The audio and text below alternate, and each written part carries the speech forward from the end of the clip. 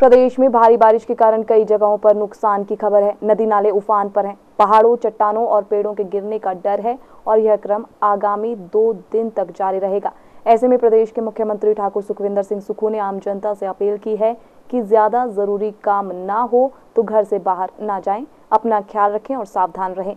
उन्होंने जनता की सुविधा के लिए प्रशासन को हर संभव सहायता प्रदान करने और सतर्क रहने के आदेश दिए। मेरा सभी प्रदेशवासियों से अनुरोध है कि वे नदी नालों के किनारे ना जाएँ, क्योंकि अगले 24 घंटे में और तेज़ बारिश होने की संभावना है।